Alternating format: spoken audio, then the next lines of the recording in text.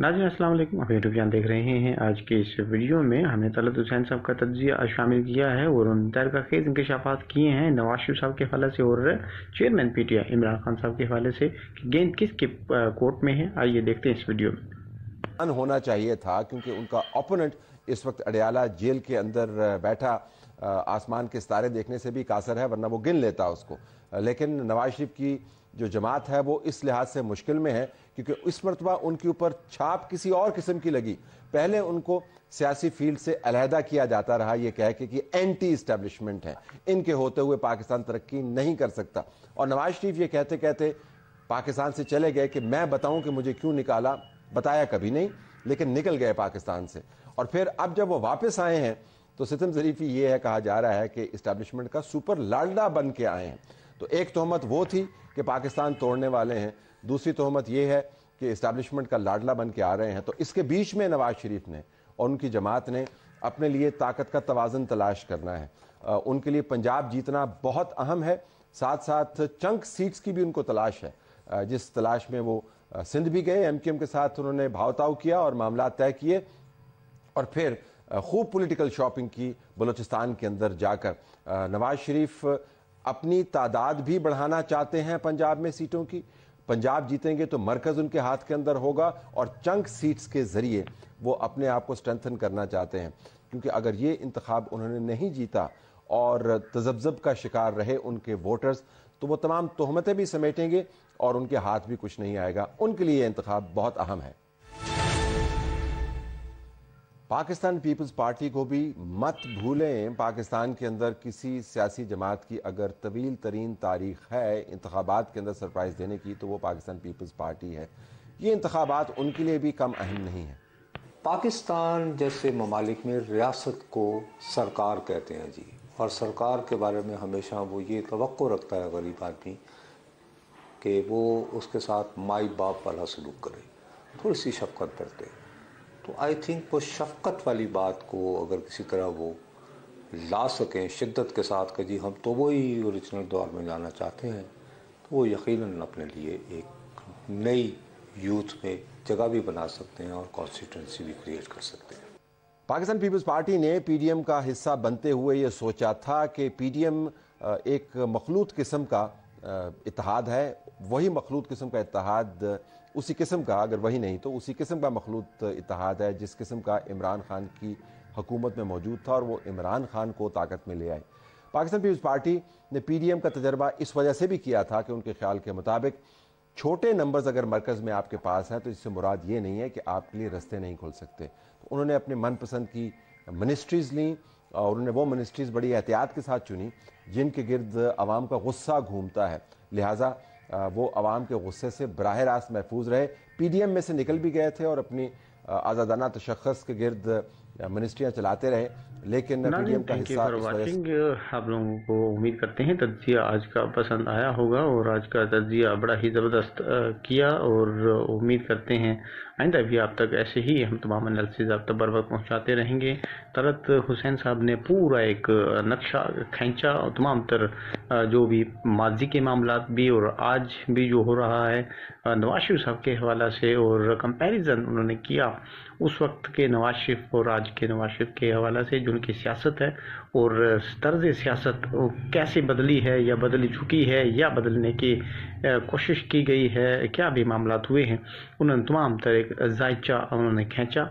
और जैसे कि तलत हुसैन साहब ने कहा कि, और नवाज़ साहब ने भी इसमें इंटरव्यू अपना दिया है प्रेस टॉक की है छोटी सी, उसमें उन्होंने वाज तौर पे कहा कि 99 के हवाले से जब जनरल परवेज मुशरफ साहब उस वक्त चीफ ऑफ़ आर्मी स्टाफ हुआ करते थे, तब उन्होंने कहा कि मैं सुबह जो मैं वज़ी अजम था और शाम को मैं हाईजैकर बन गया था और ये मुझे जेल क्यों हुई?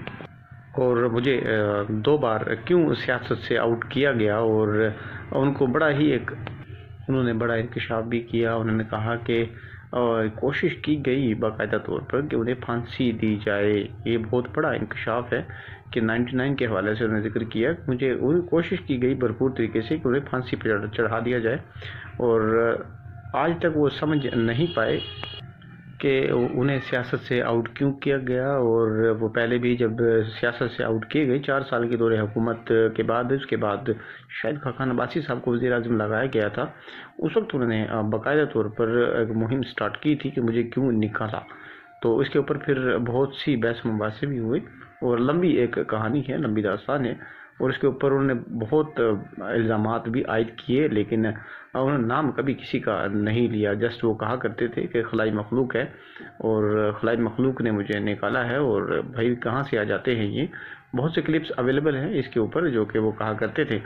तो उसके ऊपर फिर उनके ऊपर एक बड़ा एक इल्ज़ाम आयद हुआ कि नवाज़ शरीफ जो है वो एंटी इस्टेब्लिशमेंट एक माइंड रखते हैं। इसी वजह से उनकी कभी भी चीफ ऑफ़ आर्मी स्टाफ के साथ नहीं बनी, ऐसा एक तासुर बना।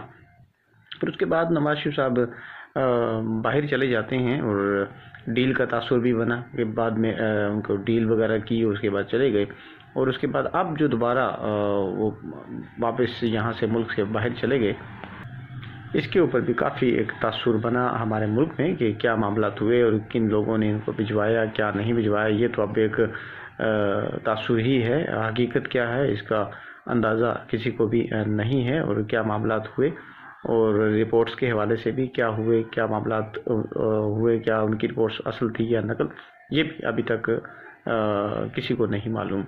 तो आ, जो तरत हुसैन साहब ने नाजन कहा कि अब जो नवाज़ शरीफ साहब लौटे हैं चार साल के बाद तो ये अब लाडला का टैग लगा है। पहले पहले टैग जो नवाज़ शरीफ साहब के ऊपर लगता था वो एंटी स्टैब्लिशमेंट का टैग था और अब जो है टैग लगा है वो लाडले का टैग लेकर पाकिस्तान लौटे हैं। वो अब इसके ऊपर भी एक अपनी जमा, जो दूसरी जमातें हैं, उनका एक अपना तासुर है।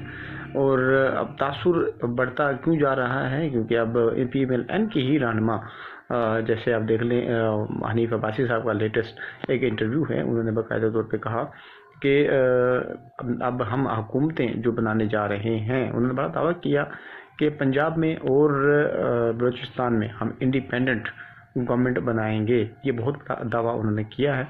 और उसके बाद केपी में, और केपी में उन्होंने ज़िक्र किया कि हम वहाँ पर इतिहादी गवर्नमेंट बनाएँगे और सिंध में उन्होंने जस्ट कहा कि हम वहाँ पर पीपल्स पार्टी के साथ ठीक ठाक फाइट करेंगे। वो इसलिए दावा किया है क्योंकि नून लीग ने एम के एम के साथ और जी डी ए के साथ भी इतिहाद जो बने हैं इस वजह से ये उन्होंने अपना एक मौक़ दिया।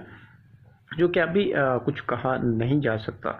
दावे सियासी रहनमा करते हैं, इलेक्शन से पहले तासुर बनता है और अब तो स्टार्ट में ही एक तासुर बन चुका कि नवाज़ शरीफ साहब जो हैं, वो अपनी हुकूमत बनाने जा रहे हैं और ये तासुर जो ख़त्म किया तो आसिफ अली जरदारी साहब ने अपने एक इंटरव्यू दिया कि आप भूल जाएँ, मियाँ साहब जो हैं हुकूमत बनाएँगे।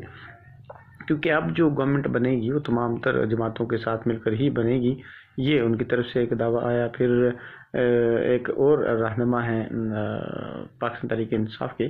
सबक रहनमा हैं, उन्होंने एक दावा किया कि ये जो अब हुकूमतें बननी हैं, इस दफ़ा बननी चाहिए। कि उन्होंने ये प्रडिक्शन की, बल्कि उन्होंने एक ख्वाहिश का इजहार किया, क्योंकि जो मुल्क की सिचुएशन है इकॉनमी की हालात हैं, या डॉलर का रेट है, जैसा भी एक कशमकश पाई जाती है, इसके ऊपर उन्होंने कहा कि अब हुकूमत जो बननी चाहिए वो एक तमाम जमातों को मिलाकर नेशनल गवर्नमेंट उन्होंने एक इंडिया दिया।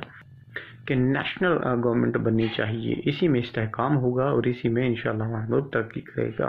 तो देखते ना दिन अब क्या आगे नेक्स्ट होता है या होने जा रहा है। हमारे दुआएँ हैं।